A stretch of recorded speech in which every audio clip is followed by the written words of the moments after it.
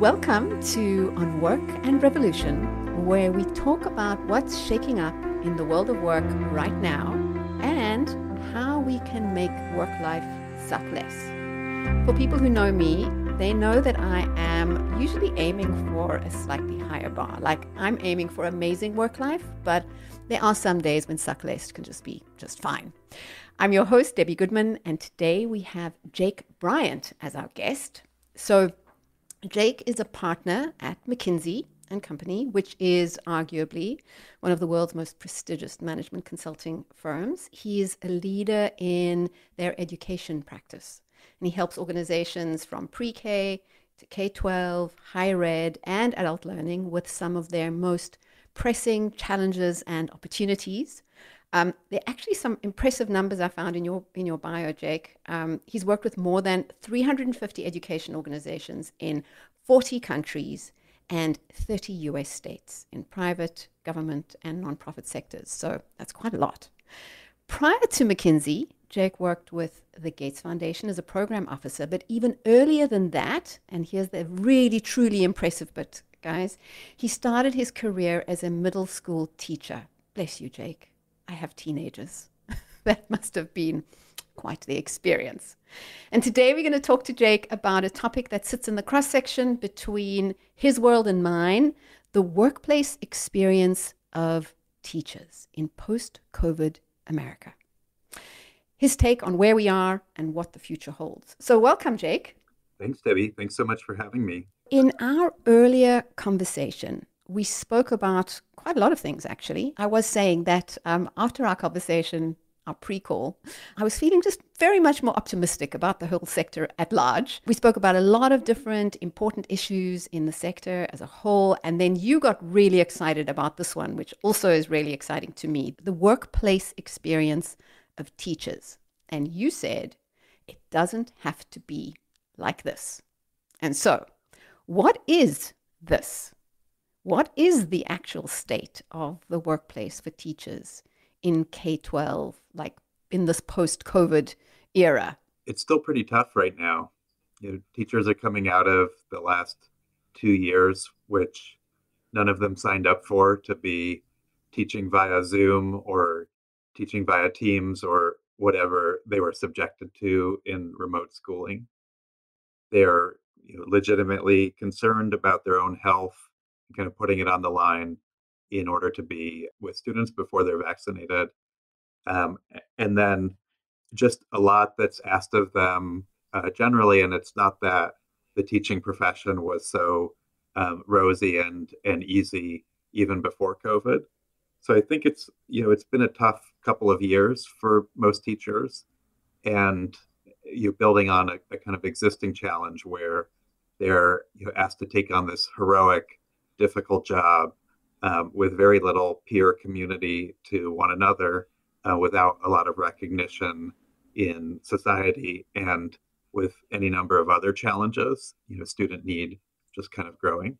So I'd say, on the whole, it's it's pretty tough still, um, tough for the typical teacher in the typical school, but there's also a lot of reason to be hopeful. I think two things that give me a lot of hope. Uh, firstly, when it works and when you can kind of muddle through the the sucky stuff, as you said uh, in your in your intro, it's really one of the most rewarding jobs in the world, and you know teachers will tell you that themselves. And then secondly, there's a lot of schools amidst you know a, a broad challenge, a lot of schools, a lot of school systems where they're getting it right, and teaching is uh, creative and rewarding and celebrated and kind of connected and energizing. So, you know, amidst a bit of a a, a, a, a bit of a dull or, or gloomy overcast on the whole, there's these bright spots that are to me very exciting. And you know, when you get it right, then it can really be the best job that one could imagine the best job that one can imagine. Um, I get that as the optimistic lens, being the parent of uh, of teenagers myself, as I alluded to.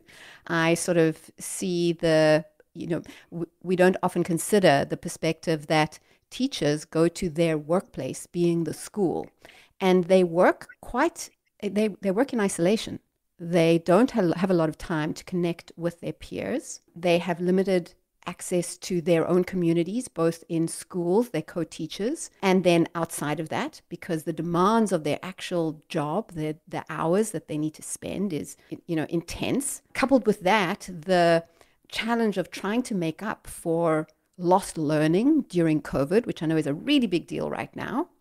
And then on top of that, there's this um, constant pressure to look at all this myriad of products and offerings to automate and create opportunities for technology to supposedly ease the, their lives, but often not. And the pressure of trying to automate, but also possibly the fear of what is this automation going to mean for us? Where is AI in the whole spectrum of things? And what you have is it sounds like a pretty pressurized space for teachers. I do think, yes, the the basic challenge to teaching among um, among several challenges uh, is twofold. One that students have a lot of need, and students have more need now than they've ever had before, whether academically that they've fallen behind, or emotionally that you know rates of anxiety and depression, particularly among teenagers, are at all-time highs. So the burden to a teacher has increased and then the second part of the challenge is that, you know, on average, they kind of have to go it alone. They might, they're in a school with 20, 50, 100 other teachers, but the time in the day to actually interact with them and build professional community is is quite modest. And the typical school on top of that hasn't done a great job of building that culture of, you know, coaching, observation, sort of mutuality that allows you know professionals to thrive and grow and perform uh, to their fullest and also have friendships with coworkers that you are sustaining through those difficult times. So there's absolutely a lot to do with a bunch of new student need on top of uh, long-standing student need and then this isolation. I am hopeful about the role that technology could play here. I don't want to overestimate it. I think with no technology, there's still plenty that a school leader and a set of teachers can do to build culture and community and kind of professional um, support amongst each other. So it's possible without technology, but I think there is a lot in technology that gives me hope. On technology, I have no expectation that any teacher job will be automated. I don't think robots are going to be teaching our three year olds. Uh, I don't think we're going to, you know, vastly reduce the teaching force in favor of, um, you know, large classes that are largely kind of tech enabled and the teachers kind of just in the background. We have actually projected, even in the most uh, developed economies, that the teacher workforce will grow above population growth um, over the next five to 10 years. But what I am hopeful for is that we can automate the parts of the teacher's job that give her least joy and that are most rote. The kind of administration of uh, assessment, even the delivery of lessons in that kind of sage on a stage type of format where it's just sort of informational channeling the feedback that you you give to a student on her work. You know, if we can start to automate the call it drudgery of teaching, and there is quite a bit of that, and allow the the teacher to focus on that which is kind of truly essential and truly human only. For example, motivating a student who's discouraged, or building on the initial grammatical feedback that the bot has provided on the paper to give that more motivating or higher level feedback. Um, the delivery of, you know, a, a, next lesson that builds on the first that came via video and addresses exactly what that student knows and doesn't know. So I think there's a lot of opportunity to automate parts of the teacher's role. We've estimated up to even 30% of the time that she spends in the day. And I don't expect teachers to just you know take that 30% and kind of walk off to a luxurious afternoon lunch. More, I'd expect them to use that to, to do the things that are truly human and truly exciting. And when we talk to teachers, those are the things that they're most excited about and want to do more of, but feel like they're stuck in this administrivia, they'll call it, uh, that keeps them from really doing the job that they love. I read one of your reports um, that uh, was published in 2020, which now feels, uh, I'm, I'm, sure there have been further developments because there's been so much enablement through tech since then. But um, you said 20 to 40% of current teacher hours are spent on activities that could be automated, and that only 49% of teacher time was actually spent in direct interaction with students. So, in the last two years, where there's been this acceleration with tech in the schools, in all form, in all parts of the education sector, has that shifted already or are we still lagging behind because procurement processes are so arduous and because districts take so long to dis- make decisions and schools themselves you know it takes ages to you know onboard new technology. Like where's the progress? I think we have made some progress. I think the progress of the last two years with regards to this is firstly the sort of last set of teachers who weren't quite comfortable with technology as a kind of core to their workflow are now more or less either migrated or retired. And so now, you know, in a typical system, pretty much every teacher is doing a portion of her work and workflow on a platform. And in particular, we're seeing the kind of durability of um, platforms for kind of the whole classroom to submit their work, a bit of that automation of grading and feedback that's become much more uh, penetrated in the pandemic than it was previously. So I haven't resurveyed the teachers that we resurveyed in 2019, 2020, but I think I'd stand to guess that there's been some progress in kind of moving some of that administrivia, if not to an automated solution, at least to a digitally enabled one that makes it a bit faster, a bit more predictable, and frees up a bit of their time. At the same time, there have been other challenges. You know, teachers have been kind of uh, the enforcers of mask mandates or the front line to kind of pandemic response. So we've certainly put other things on teachers' plates that haven't made the job feel easier. But in a year or two, I hope when we're more fully out of the pandemic, it'll feel like to the typical teacher, I've gained a bit of productivity and it's let me to use uh, some of this time for the things that that really make this job impactful and and help students the most. Yeah, I mean, I'd say certainly anecdotally, um, teachers have really risen to the occasion. I mean, in the first few weeks of uh, Zoom school, um, you know, few of them, you know, they were really struggling. And now everybody's, you know, not everybody, but most teachers are so fluent. The kids are all online. The technology capability and enablement has accelerated pretty much across the board. Granted, I am speaking from my very um, sort of fortunate window in California. Um, so it's let's you know this is not the case throughout the country or globally for that matter. But um, but but certainly it's the accelerant in terms of um, upskilling for teachers themselves. Nevertheless, there's also in response to that, okay, great, our teachers are tech enabled, our schools are willing to look at techno- the technology. There's also been this like flood of ed tech products servicing the K 12 sector. And um, we, as, a, as an executive search firm, Jack Hammer, we support that industry in the US um, as one of our niche areas. And we have seen how many organizations, the amount of venture funding that's gone into back the sector, the number of companies that have grown, and we've seen that because we've been helping them hire. Um, and the system seems a little overwhelmed. I was hearing some numbers like every school is is looking at like 600 products at any given time.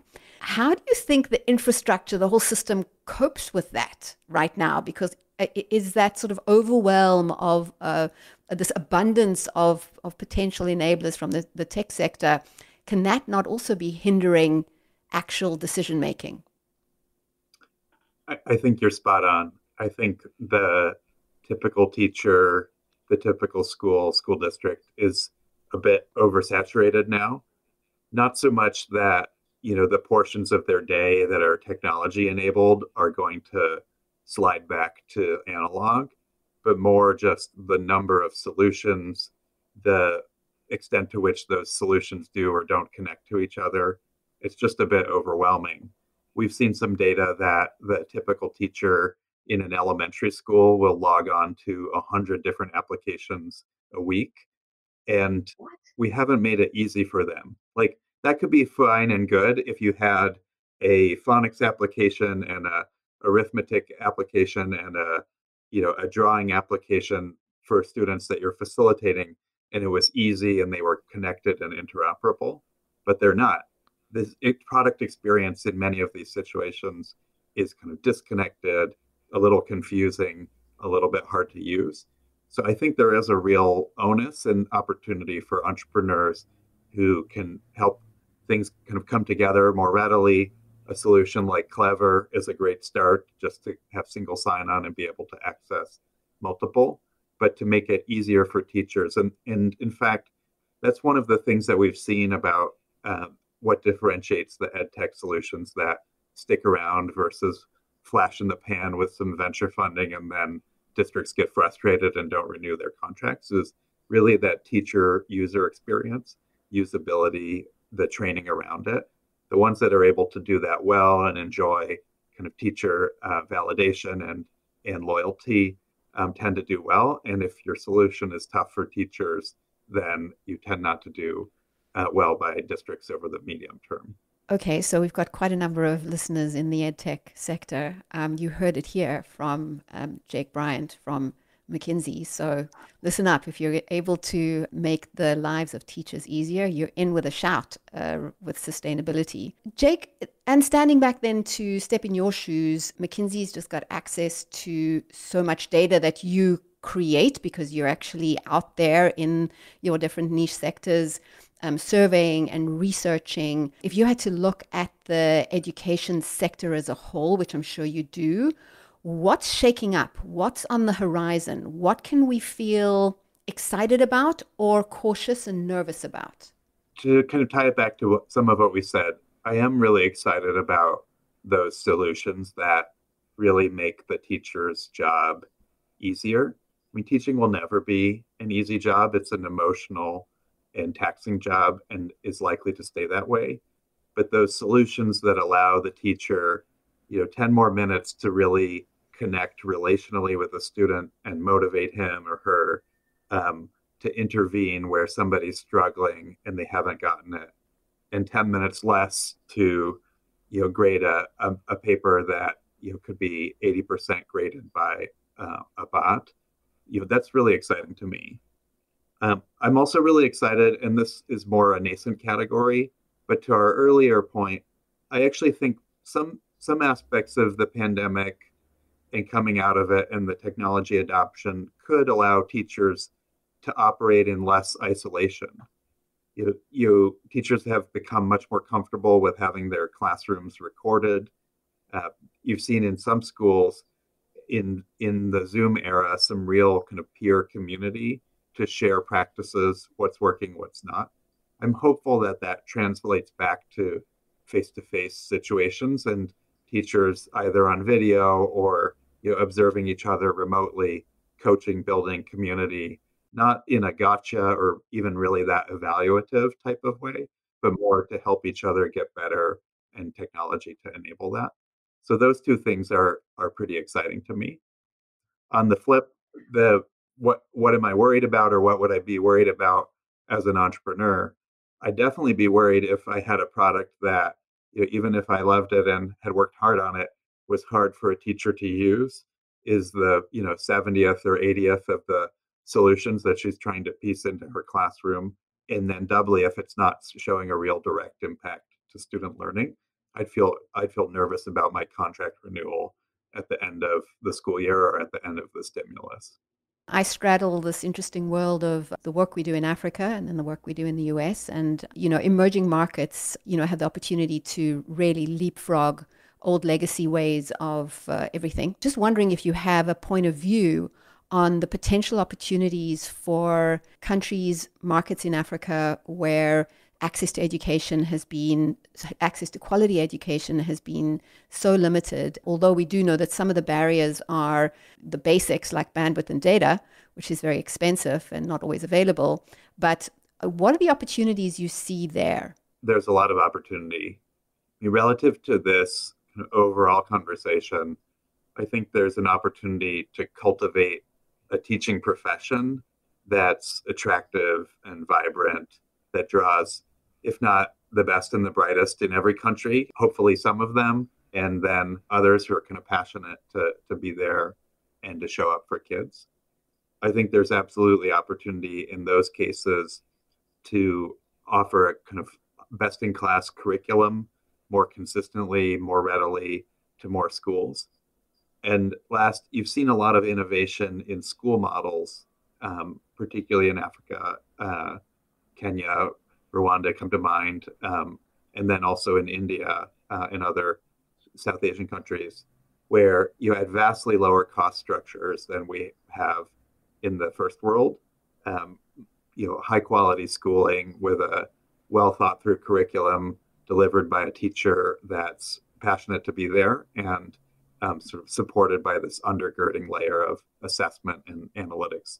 Um, so, uh, yeah, a lot of promising models, even though they're not yet at the scale of, of whole countries as they need to be. I've watched the flow of money really in terms of where the VC funding is going, where the private equity funding is going, and it's starting to trickle onto the continent in fits and starts. I think obviously the barriers are the, the logistics and the infrastructure, which is still very poor and um, and and in, in some cases very expensive. So trying to figure out how things work economically, even when the demand is there, is obviously the the challenge. But I am super excited by the products that I'm see- seeing and imagining how those could be applied into emerging economies, uh, really delivering access to to high quality education.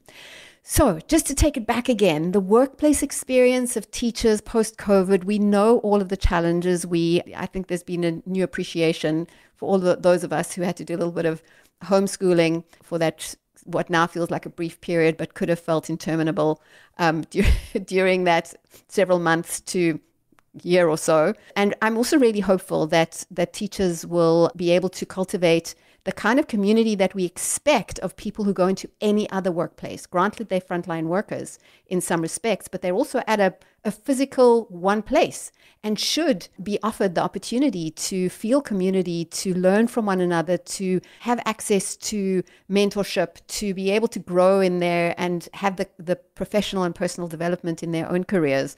So, from what I'm hearing from you, you said it that it's almost not maybe almost, you didn't put a timeline on it, but you said it's possible, right? Wholeheartedly, yeah. And and it's possible on a reasonably near-term basis. These are moves that school system leaders can make now. In the best case, they've take you know four or five years to kind of filter out to the you know the whole of a profession. Um, maybe ten years to sort of fully embed but it's absolutely possible uh, to really shift the workplace experience of teachers, the culture of teaching, and we've seen places do it. So, sort of that quote where, you know, the future is already here; it's just not evenly distributed. But that's much more hopeful than the future not being here and this just being aspirational and far away. Okay, I am going to take that very positive note and say thank you, Jake, for your time and your insights and everything that you've brought to us here. It's been wonderful to chat to you. Thank you so much. And thank you, listeners, for listening this far. And have a lovely day. Thanks for hanging around all the way to the end. It would mean the world if you would rate and review on Work and Revolution on your favorite listening app it helps people know that the show is worth listening to, and so I really appreciate that. Thank you so much.